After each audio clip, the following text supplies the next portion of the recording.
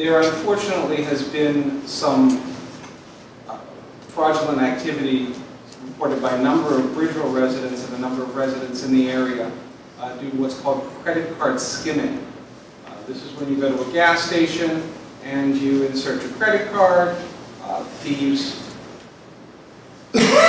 put something, on the device to record your credit card number, and then they proceed to drain your bank account.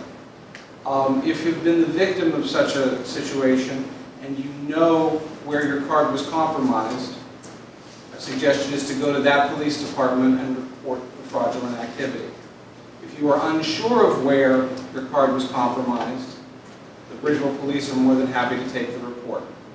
Uh, They're working on you know, trying to, uh, to solve this. Unfortunately, it is Not to add, they need Yes. to call their bank. Oh, absolutely. Absolutely, call your bank. Like, before you even call anybody else to stop it. Yes, thank you. Because you want to stop the bleeding. But then, uh, then oftentimes you need to make a report where the police department is here for you. Um, It was